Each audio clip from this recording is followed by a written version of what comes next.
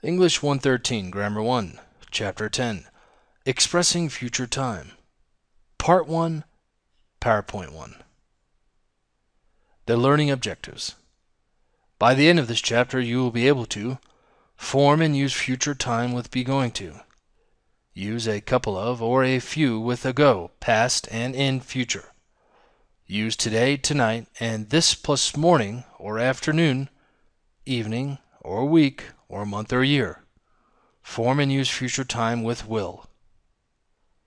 The simple future tense be going to plus the base form, affirmative statements and contractions. Use am going to plus the base form with the personal pronoun I.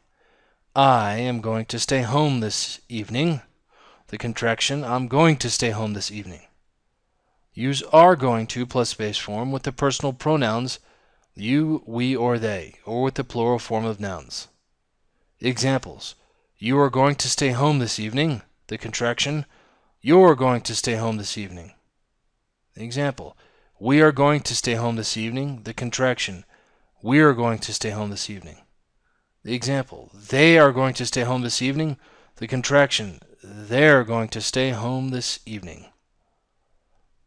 The simple future tense be going to plus base form affirmative statements and contractions. Use is going to plus the base form with the personal pronouns he, she, or it, or with the singular form of nouns. Examples He is going to stay home this evening. The contraction He's going to stay home this evening. She is going to stay home this evening. The contraction She's going to stay home this evening. It is going to rain this evening. The contraction it's going to rain this evening. The simple future tense. Be going to plus base form. Negative statements and contractions. Use am not going to plus base form with the personal pronoun I. I am not going to stay home this evening. The contraction I'm not going to stay home this evening. Use are not going to plus the base form with the personal pronouns you, we, or they, or with the plural form of nouns. You are not going to stay home this evening. The contraction. You aren't going to stay home this evening. We are not going to stay home this evening. The contraction. We aren't going to stay home this evening. They are not going to stay home this evening. The contraction. They aren't going to stay home this evening. The simple future tense. Be going to plus base form.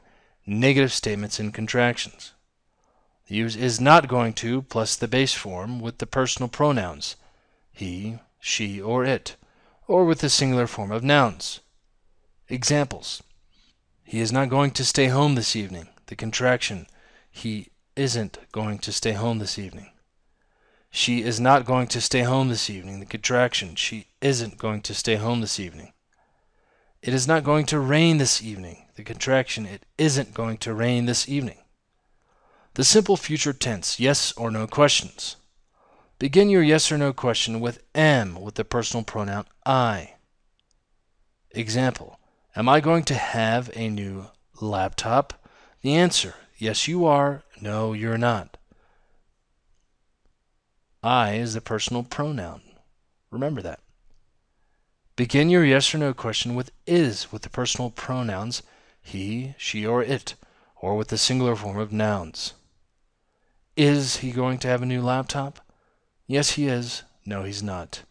Is she going to have a new laptop? Yes, she is. No, she's not.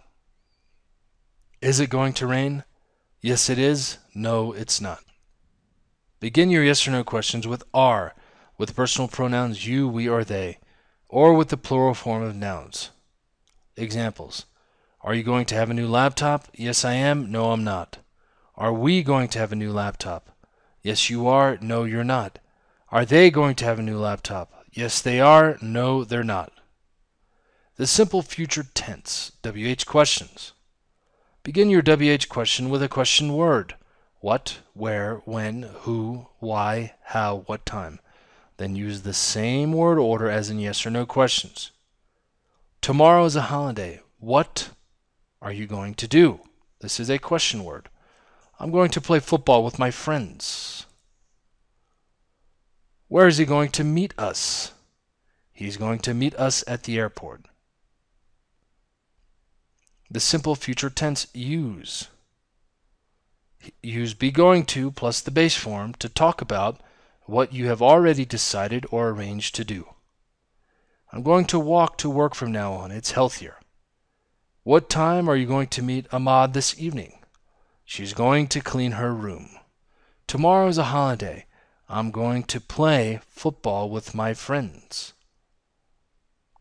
Words used for past time and future time. Past, yesterday. Yesterday morning, yesterday afternoon, yesterday evening, last night, last week, last month, last year, last weekend, minutes ago, hours ago, months ago. The future, tomorrow, tomorrow morning, tomorrow afternoon, tomorrow evening, tomorrow night, next week, next month, next year, next weekend. In five minutes from now, in two hours from now, in three months from now. The examples of the past it rained yesterday. The future it's going to rain tomorrow. The past I was in class yesterday morning.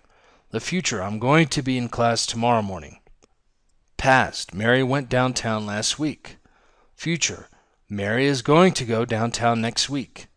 Past I finished my homework five minutes ago the future. Pablo is going to finish his homework in five minutes. Using a couple of or a few with ago and in. A couple of means two. Past. I saw Carlos a couple of months ago. Future. He's going to return to Mexico in a couple of months. Few means a small number, three, four, or five. Past. I got a letter from Gina a few weeks ago. Future, I'm going to see Gina in a few weeks. Using today, tonight, and this plus morning or afternoon, evening, or week or month or year. These words, today, tonight, this morning, this afternoon, this evening, this week, this month, this year, can express present, past, or future time. Right now, it's 10 a.m. We are in our English class. Present, we are studying English this morning. Right now it's 10 a.m. Nancy left home at 9 a.m. to go downtown. She isn't home right now. Past. Nancy went downtown this morning. Right now it's 10 a.m. Class ends at 11 a.m. After class today, I'm going to go to the post office. Future. I'm going to go to the post office this morning. End of part 1. PowerPoint 1.